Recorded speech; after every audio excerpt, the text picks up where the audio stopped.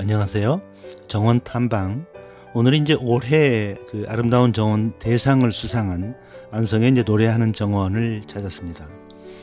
그 이제 주택은 원래 이 안에 있던 원래부터 있던 옛날식 한옥을 기준으로 해가지고 어 이제 옛날 시골집 시골 외갓집 그런 이제 분위기를 이제 연출을 하셨습니다.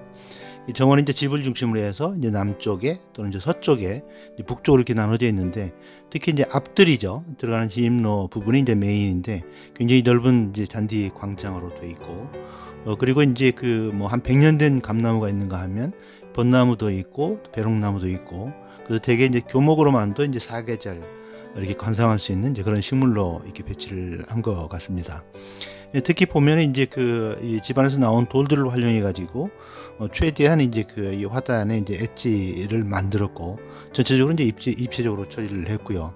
또 잔디 끝에는 이제 넘지 않도록 이제 특별한 자기만의 이제 노하우를 어, 이제 동원해서 이제 처리하기도 했습니다. 예, 그리고 여기저기 보면 상당히 아이디어들이 많은데 이렇게 이제 오른쪽에 그 벽돌을 그 이제 세로로 잘라가지고 남은 폐벽돌이죠. 그걸 활용해 가지고 이렇게 자기만의 이제 그 보도도 만들었죠. 그리고 잔디 중심부에 이렇게 이제 원형을 파서 어, 또 작은 소 정원을 이제 만들기도 하고요.